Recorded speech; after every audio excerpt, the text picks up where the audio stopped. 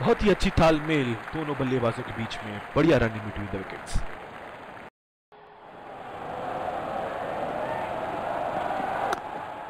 पहला रन तेज़ी से दौड़ते हुए दूसरे रन की कोशिश होनी चाहिए यहाँ।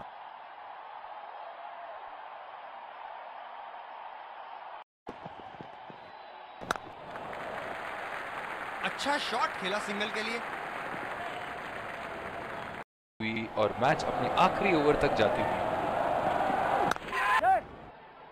अपनी चतुराई से बल्लेबाज को चार में